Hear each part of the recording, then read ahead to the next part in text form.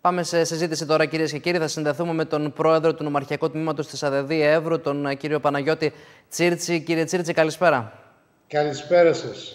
Να παραμείνουμε λίγο στα θέματα της εκπαίδευσης, τα οποία τα γνωρίζετε και πάρα πολύ καλά. Ε, ξεκίνησαν ε, τα σχολεία, άρχισε η νέα σχολική χρονιά. Χτύπησε χθες εδώ στον Εύρο στη Θράκη το πρώτο κουδούνι. Πώς είναι τα πράγματα αυτής της ε, νέας σχολικής περίοδου, πώς ξεκινούν τα σχολεία για παιδιά και για εκπαιδευτικούς; Είναι η κατάσταση έτσι όπως ε, θα έπρεπε να είναι; Επειδή έχω παρακολουθήσει τον τελευταίο καιρό που ασχολείστε τα μέσα μαζικής ενημέρωσης με τη σχολική στέγη, ε, μάλλον θα έλεγα ότι φέτος είναι το κύριο θέμα για τα σχολεία. Ε, το αναδεικνύουν δηλαδή όλες οι πλευρές και εμείς με τα συνδικαλιστικά όργανα ως εκπαιδευτικοί αλλά και εσείς ως ε, μέσα μαζικής ενημέρωσης. Ε, το συμπέρασμα είναι απλό όμως κύριε Πανταζή. Ε, υστερούμε ως χώρα σε σχολική στέγη.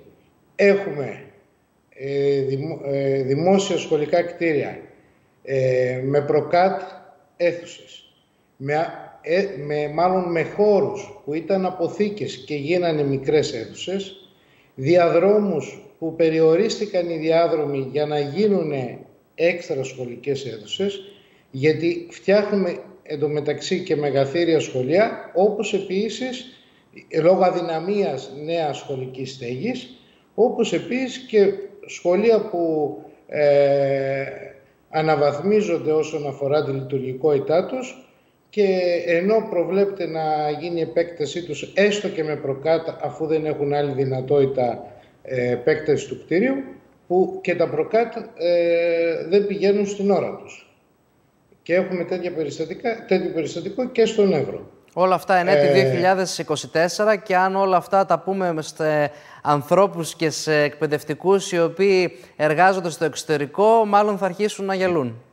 Ε, Εκεί όντως υπάρχουν σχολικά συγκροτήματα. Επίσης έχουμε νηπιαγωγία ακόμα σε νοικιαζόμενους χώρους μέσα σε πολυκατοικίες χωρίς αυλές ή με υποτυπώδη είδους αυλή, ε, χωρίς ε, μεγάλες αίθουσες νηπιαγωγία που να μπορούν να κάνουν τις γωνιές τους όπως προβλέπεται παιδαγωγικά και μαθησιακά.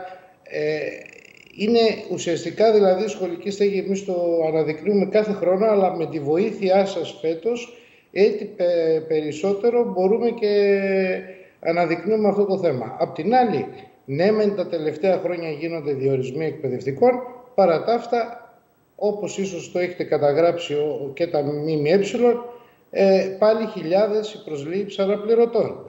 Άρα, τι έχουμε για ακόμη μία χρονιά, οι αναπληρωτές να αναπληρώνουν τον εαυτό τους. Και υπάρχουν στο κομμάτι αυτό με τους εκπαιδευτικούς, ε, κύριε Τσίρτσι, πολλά προβλήματα και με την στέγαση τους. Διάβασα πριν από λίγο ένα άρθρο και ε, ε, από την ΑΔΔ και από την ΔΟΕ. Μαζί έκαναν την συγκεκριμένη ανακοίνωση, κοινή ανακοίνωση, ε, μετά από επίσκεψη στη Ρόδο, αν ε, διάβασα σωστά. Ακριβώς. Ακριβώς. Αλλά η Ρόδος είναι το, πώς να το πω, το προπύργιο ή τέλος πάντων ο χώρος με τον οποίο προωθούμε αυτό το ζήτημα που είναι κέριο ζήτημα τραγικής φύσεως για τους εκπαιδευτικούς που καλούνται να πάνε ως νοδιόριστοι, ως αναπληρωτές σε όλα τα μέρη της Ελλάδος και να μην φύγουμε μακριά στη Ρόδο κύριε Πανταζή. Θέλετε να μπούμε σε δύο-τρεις πλατφόρμες σε μεσητικά γραφεία να δούμε πόσο νοικιάζεται η στέγη στην Αλεξανδρούπολη. Εννοείται, πώς θέλουμε.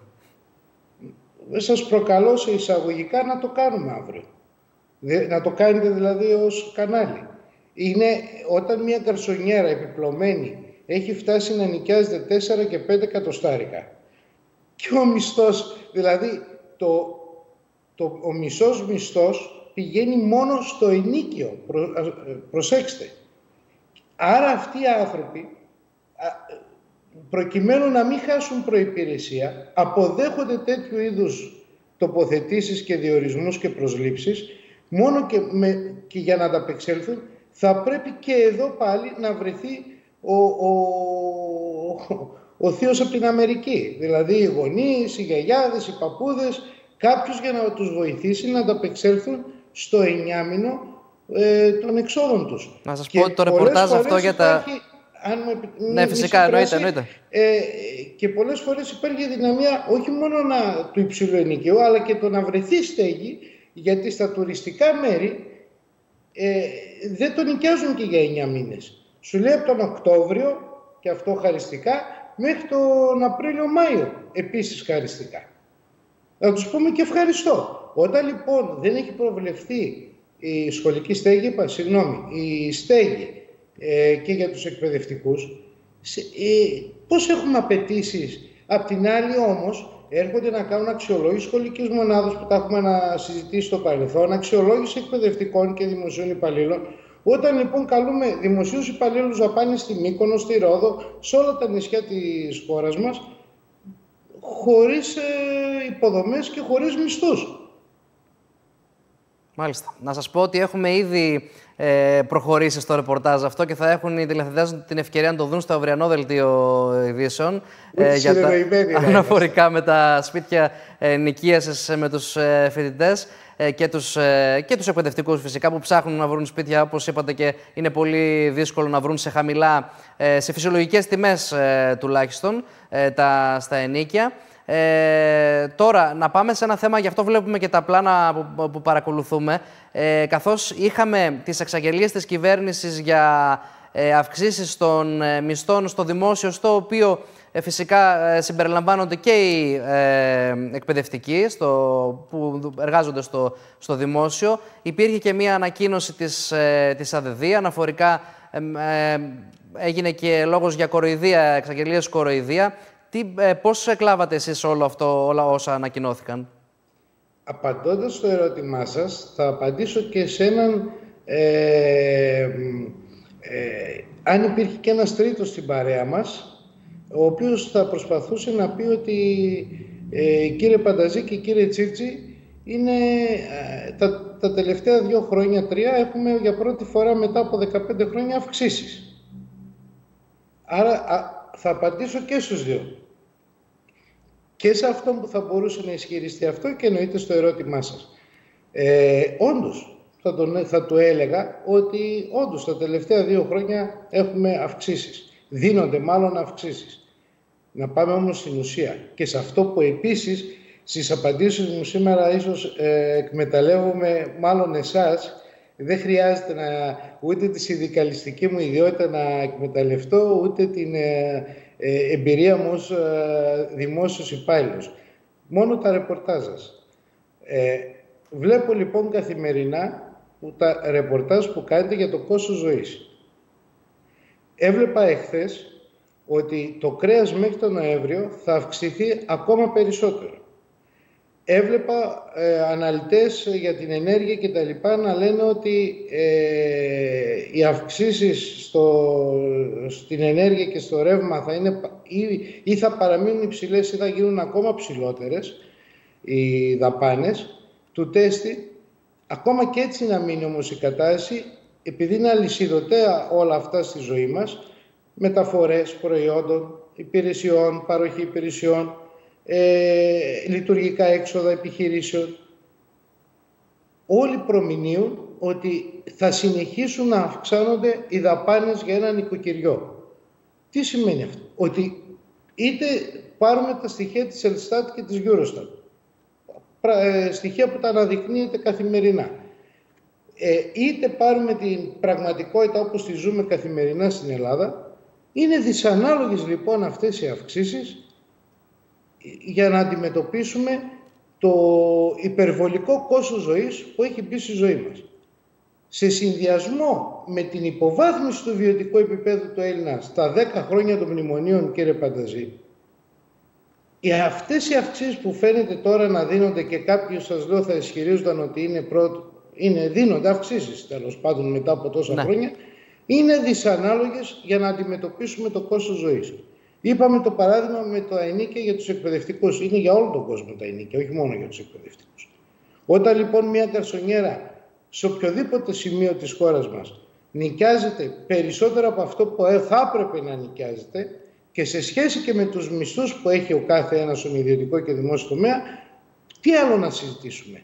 Να, ακόμα και τα φασουλάκια να πάμε στη λαϊκή ή τέλος πάντων η μαναβική είναι ακόμα και να κόψουμε το κρέας και να τρώμε μια φορά το μήνα.